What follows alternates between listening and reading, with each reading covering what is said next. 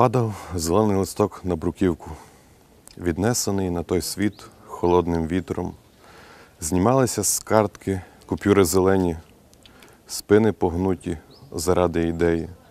Шукали втіхи в лісах смирикових, туристи в зелених шапках випадкових. І на зелений у центрі Львова і Києва поринали в соціум люди нещасливі. Проте були свята зелені квіткові, котрі наближали життя до любові. І в момент, коли він являв себе нам, ми жили, ми горіли, як в останній раз. Закарпатець Анатолій Молнар зачитує вірш зі своєї п'ятої книги поезії Дні кольорові, дні загадкові. Збірка віршів про 12 основних кольорів, які є в природі. Е, І відповідно кожному кольору присвячується вірш.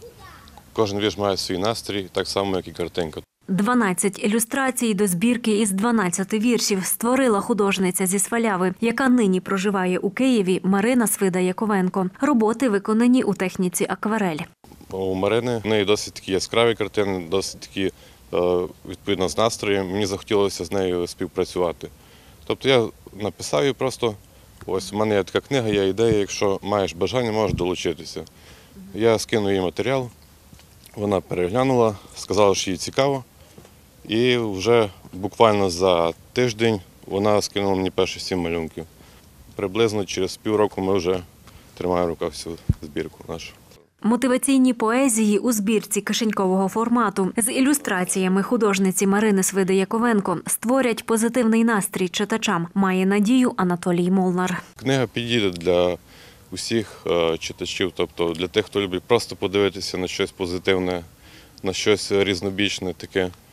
І для тих, хто любить читати дійсно. Тобто можна і дивитися, і читати, вибрати собі під настрій. Тобто можна їхати в маршрутці, там відкрити. Можливо, якщо ця картинка передасть хороший настрій читачу, то ми будемо лише задоволені. Її величність, влада та краса, її вбрання рожевого відтінку. За руку мужню взяла короля, і пелюстки троянд летіли з вітром. Її улюблений рожевий колір. Для неї він здобув всі перемоги. І прапор, котрий був на полі бою, король тримав, проливши тонни крові. Тепер під ним сидять він та вона, і діти їх запам'ятають разом. Вона носила ніжне це вбрання, а він мечем збирав для неї пазли. Бажання творити та передавати своє відчуття світу крізь призму віршів у Анатолія Молнара присутнє весь час. Загалом цей рік виявився продуктивним для молодого автора. Збірка поезій Дні кольорові, дні загадкові, четверта за ліком у 2020-му. Поезія це в першу чергу спосіб самовираження, виразити якісь е, несказані думки, подивитися з боку на ситуацію, розповісти про неї. Це більш як спосіб самовираження. Бажання творити воно постійно виникає.